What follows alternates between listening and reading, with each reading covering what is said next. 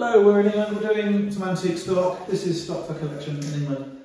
Windsor chairs, country chairs, crofters chairs, stick back chairs, lots of names, lots of issues. Let me give you some tips on what to look for. Be aware that these have been made the same for three to four hundred years um, and the style hasn't changed hugely. Every town has its own chair, you can look at this in books and each region has its own style. Uh, the Windsor chair is very well known. This is a Windsor chair, basic Windsor chair worth about two or three hundred pounds. I'll try and show you the features that make a better Windsor chair. And we're going to start with the wear. Now, we'll see that this is worn at the back. It should be like that. It's an inch and a half short at the back. This is created by wear. Um, because the back is worn, the front uh, legs are sticking out too, too much, like buck teeth. So you'll see that if it's the correct height, the proportions are better, back's more upright. Wear is, is, is a common problem, um, and for a collector they will not be too pleased if it's overworn. Splats. This is a beech splat.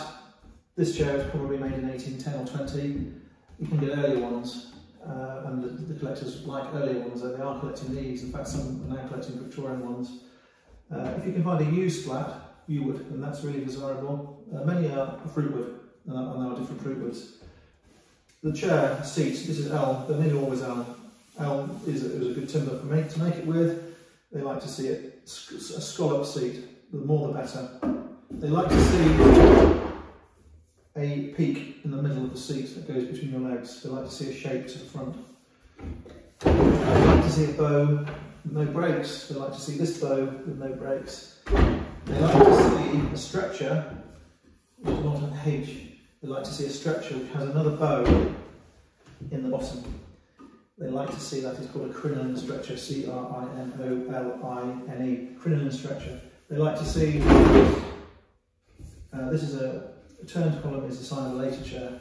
They like to see a, an arm supported by a curved piece of wood. It would be often yew wood or something they have locally.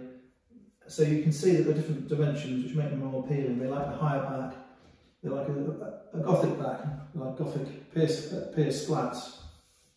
So there's lots of different things you find. Sometimes they have a little platform at the back with two sticks to support the rest. So there's, a huge variety. You, you have to be aware that you can buy these cha chairs made in the Victorian era. You can buy these chairs that are made now, and uh, a chair in a shop like that now new is £800. A Victorian chair like that is £200. This is a 19th century chair with some issues, some breaks. This is worth two or three hundred pounds. This chair had the right stretcher, the right handle, no breaks, slightly better splat, more of a shape on the front here, better scoop. And if that was going back to the 1600s or 1700s, you'd be looking at two to five thousand pounds for one chair. So huge, huge amount going on.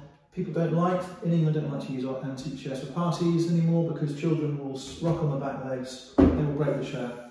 And you get into injury, you get into insurance problems, and you get into obviously injured people, let alone injured chair.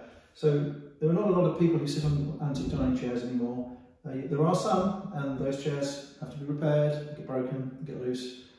Chairs are very inexpensive on the whole, but these country chairs, Windsor chairs, crofters chairs, smokers bows, these rural cottage farmhousey type chairs are extremely expensive.